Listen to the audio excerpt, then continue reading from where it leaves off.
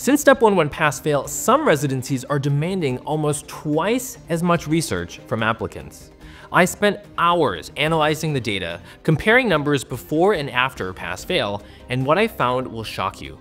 For the first time, we have exact numbers on what it took to match.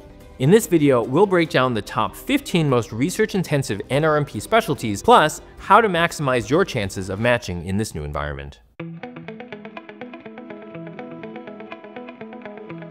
Number 15 on our list is internal medicine. So the mean number of abstracts, presentations, and publications, which is their sort of catch-all for publications. So the thing to know about research for programs that participate in the match or the NRMP, research output is actually measured by abstracts, presentations, and publications. For simplicity, I'm going to just refer to these as publications, but these numbers may seem extremely high in part because they're not all publications. It's actually a combination of abstracts and presentations and publications.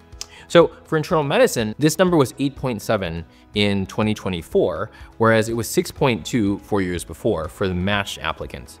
For unmatched applicants, it was 6.2, um, which is up from 5.1 four years before. This represents research growth of more than 2.5. So I know that 2.5 more publications may not seem like a lot, but that's actually an increase of 40%.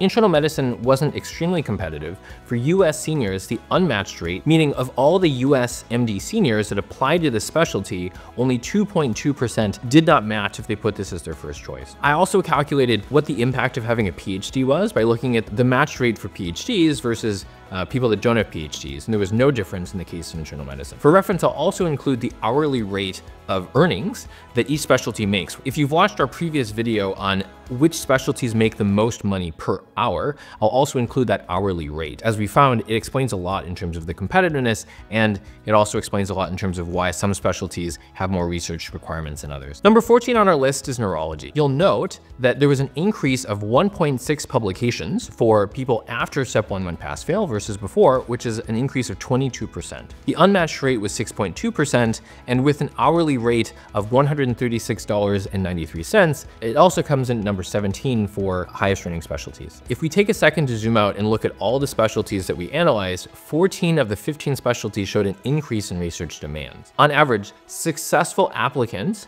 had 47% more publications than they needed in 2020. The highest was plastic surgery at an increase of 82% publications, with the one outlier being radiation oncology, which actually had 13% fewer publications for people that successfully matched. The median, shockingly, was anesthesiology, which had an increase of 73%. So getting back to our list, number 13 was OB-GYN, which had a mean number of publications of nine, which was an increase of 50% from 2020 before Step 1 pass fail.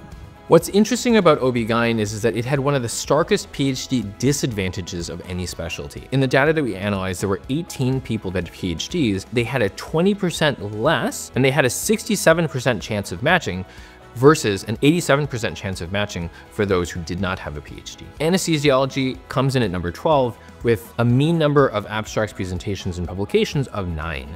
This is an increase of 73% from 2020. The unmatched rate for US MD seniors was 14.8%, meaning that it was the number eight most competitive specialty on this list. Interestingly, the anesthesiology had the highest number of PhD applicants where there was a positive outcome, meaning that there, there was an apparent advantage to having a PhD in applying to anesthesiology. As someone who's trained in anesthesiology, I think this makes a lot of sense because I've spoken with a lot of people who have PhDs who preferred anesthesiology because of the nice controlled lifestyle that allowed people to sort of control how much they worked clinically and then spend more time in research as needed. Number 11 on our list was child neurology with average publications of 9.8, which is up 40% from 2020. Interestingly, it had a huge disparity between matched and unmatched applicants, where 2.9% of people that did not match had only one publication on average, Whereas for the match, it was again 9.8. This was the most extreme research disparity between matched and unmatched applicants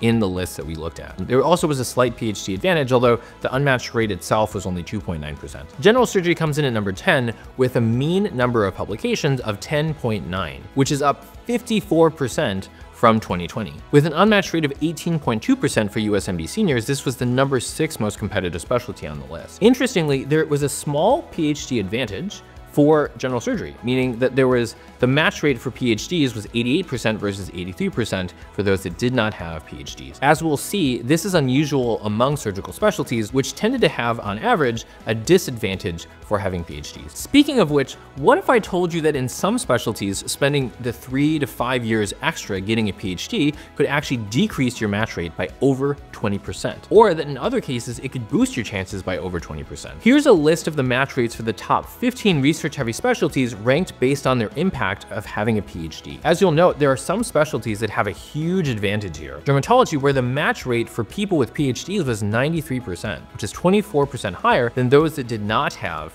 uh, PhD. You'll note that for some of these samples, interventional radiology appears to have a really strong advantage for having a PhD, but there were pretty small sample size. Anesthesiology had the most PhD applicants for the fields that had a positive impact for having a PhD. Internal medicine, as you might expect, had the most number of PhDs, probably since it has had the most number of applicants in general. The other thing to point out is, is that for surgical specialties, many of them had a disadvantage if you had a PhD, ranging from neurosurgery, which had a 3% lower match rate for PhDs, all the way to orthopedic surgery, which had a 21% disadvantage for PhDs. Note that the calculated disadvantage for vascular surgery was 43%, but with only two PhD applicants, that's not a meaningful sample size. Returning to our list, we have number nine, diagnostic radiology, with a mean number of publications of 12. This is 79% higher than it was before step one went pass fail. In addition to this, radiology was, was one of the specialties where the, the number of publications that people that went unmatched was actually higher than the, the number of publications of people that matched before step one pass fail, right? So in 2020, the number of people that matched had 6.7 publications, whereas after step one pass fail, the number of publications was eight. With an unmatched rate of 13.6%, it was the number 11 most competitive specialty on our list. Vascular surgery comes in at number eight with mean publications of 12.8, 22% higher than it was in 2020. As we mentioned before, on the surface,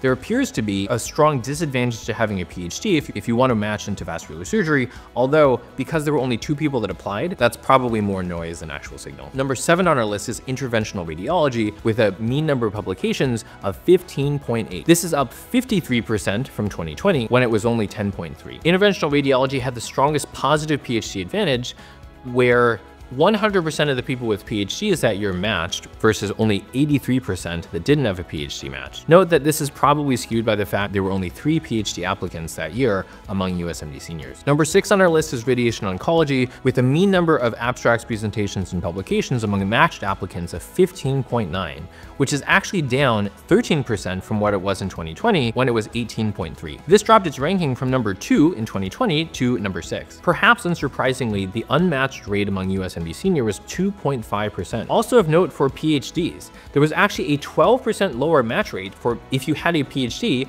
versus if you did not have a PhD, where 100% of the people that year without a PhD matched. Also, interestingly, radiation oncology still has a very, very high hourly rate of $250. Number five on our list is otolaryngology with mean matched publications of 20, which is up 46% from 2020. It's another one of those specialties where the number of abstracts, publications, and presentations among the unmatched population after step one went pass fail is actually higher than what it took to match in 2020. Like many other surgical subspecialties, there did appear to be a disadvantage to having a PhD, where among the nine USMD senior PhD applicants, they had a 78% chance of matching versus 84% if you didn't have a PhD. The calculated hourly earnings for otolaryngology is about $207, and so unsurprisingly, the unmatched rate is quite high, 18.1%, which would make it the number five most competitive specialty on this list. Number four on our list is orthopedic surgery. The mean number of abstracts, presentations, and publications for matched applicants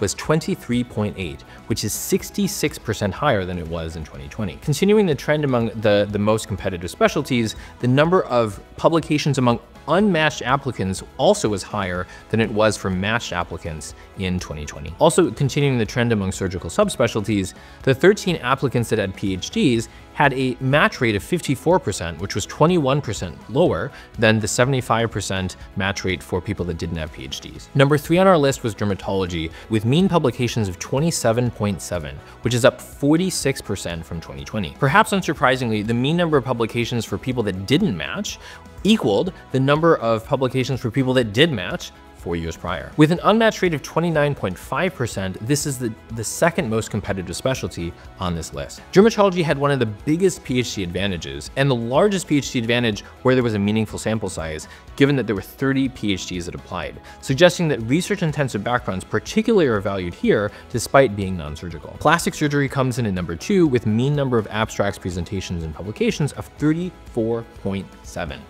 This is 82% higher than it was four years ago. The average number of publications in the unmatched group was 26.3, which blew away the, the average number of publications in 2020 for the matched applicants of 19.1. This was the highest increase in research growth across all specialties, which is crazy given that it already started a three ranking in 2020 previously. Plastic surgery was one of the few surgical subspecialties where having a PhD seemed to benefit, although there were only six PhD applicants among USMD seniors. And the number one specialty for research in the post-STEP 1 pass-fail era was neurosurgery. The mean number of abstracts, presentations, and publications was 37.4, which is 60% higher than it was in 2020. Also of note, the mean publications for unmatched applicants was almost 50% higher than it was for matched applicants in 2020 when it was 23.4. That is insane. For USMD seniors that rank this as their top choice of 31.3%. There seemed to be a minor disadvantage for having a PhD. Neurosurgery is the true triple threat.